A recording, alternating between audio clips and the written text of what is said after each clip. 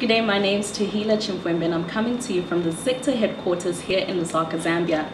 So in the month of February, the authority called for applications for the ICT Innovation Program 2017 and having received well over 1,000 likes and 94 shares, we thought it best that we actually direct the frequently asked questions to the manager of statistics and research, Mr. Bernard Banda. He's also the man under whom the innovation program runs. So you're welcome, sir.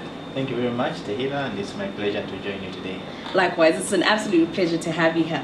So, so before I delve into the um, most of the questions that were asked, I'd just like to know what is um, an ICT innovation program and why is ZICTA participating or initiating such a program? The ICT Innovation Program basically tries to provide technical and business development support services to uh, upcoming ICT innovators here in Zambia.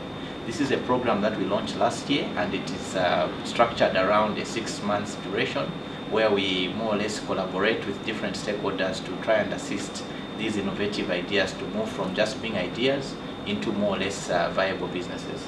Yes, thank you. And how has the feedback been while um, in terms of the previous one, well, the one that's actually currently running, how was that on your end and how has the reception been like from the general public? Um, the feedback and uh, the reception has been very good. Um, I think the first time we ran the program, we received over 100 submissions, very good projects, and unfortunately we can only take up to 20 uh, applicants each time. So we evaluated these uh, applications together with our partners uh, from academia as well as from industry as well as from institutions that are also working within the innovation ecosystem.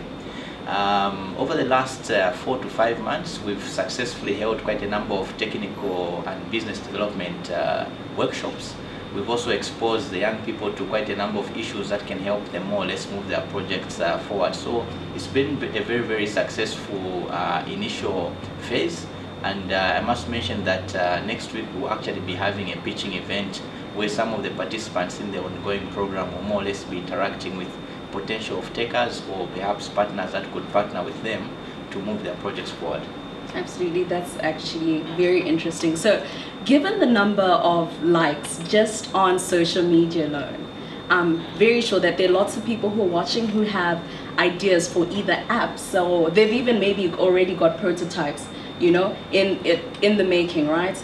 And they're thinking this could just be the program that launches whatever app I have. And they're really confident in the app or whatever it is whatever innovation that they've come up with. And they're saying how do I go about reaching out to ZICTA do I have to just be Lusaka? Maybe I'm from the Copper Belt. Um, what is the criteria for selection and how do I go about applying for it? Uh, with regard to how one applies uh, for the program, uh, we've provided a link on most of on all our adverts in terms of that link more or less leads to a form which will more or less uh, complete and once you complete that form we receive it as ZICTA and after the closing date we'll be able to put all these forms together and uh, more or less evaluate uh, who the top 20 applicants are.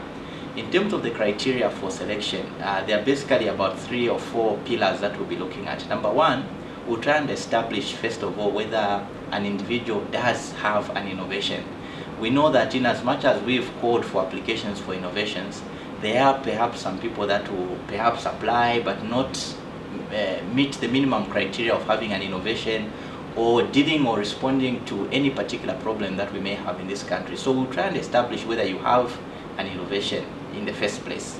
Secondly, we'll try and also establish whether it is technically feasible to implement the project that you're proposing. Number three, we'll also try and look at the business viability of that project that you're proposing. And then uh, lastly, we'll also try and look at the social impact.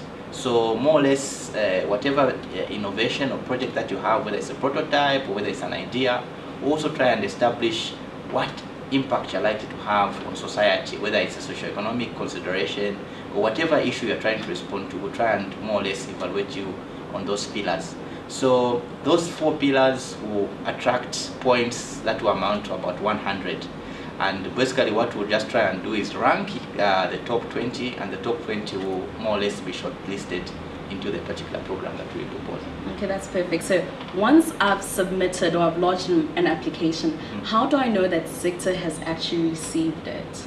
Okay, so again, um, I encourage uh, everybody who wants to participate to go to the link. Mm -hmm. Uh, the link is currently running on the screen. It's also you can also go to the, the, many adverts that we've issued in the print media, on our Facebook page, and on various electronic uh, media platforms. So on that advert, you see a link where we're telling you to either type out that link or click on that link so that it leads you to that uh, application form. At the end of um, you completing that particular form, uh, you probably click a submit button. Once you click that button, you will see a message appear on your screen which is more or less telling you to say you've successfully applied for the program. That more or less is the notification that you'll get that you more or less have success, successfully applied for the program.